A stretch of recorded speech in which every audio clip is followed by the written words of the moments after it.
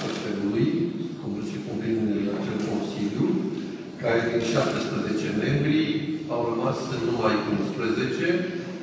cu celelalte, toate celelalte constrângeri care au avut loc. Și mă refer aici la experiența profesională la 10 ani de zile, la faptul că 80% din uh, profitul, uh, din veniturile impozitează cu 80% și cu 85%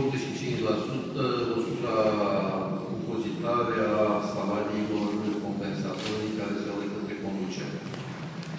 Singurul amendament care l-am legătură la acest lucru și care sperăm că la Senat să-l rectificăm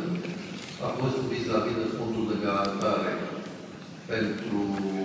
asigurări și fondul de garantare pentru pensiile private care nu pot fi impozitate cu suplimentar, pentru că au speciale și oricum acele venituri se reportează la un an la celălalt. În același timp, această reorganizare în viitoarea perioadă, avem de gând să facem o reorganizare a SF-ului cu o nouă structură care să fie mai eficientă, mai lucrativă și mai flexibilă, prin armonizarea celor trei entități, pensii private, piață de capital și asigurări, și crearea unor direcții comune care să coordoneze activitatea întregului ASF. Mă refer la direcții comune, direcția de IT, direcția economică, direcția de control, direcția juridică și direcția de resurse umane. De asemenea,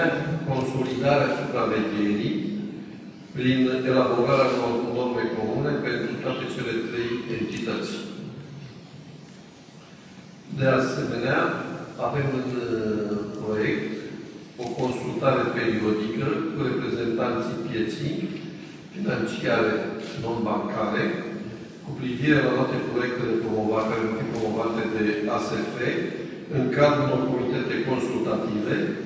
la care vor participa pe lângă reprezentanții pieții și al uh, ASF-ului și reprezentanții ai mediului universitar. Cam astea sunt proiectele noastre pentru perioada până la 31 decembrie clasificul acestui an, iar pentru anul 2014, în funcție de proiectele Guvernului și legislația aprobată de Parlament,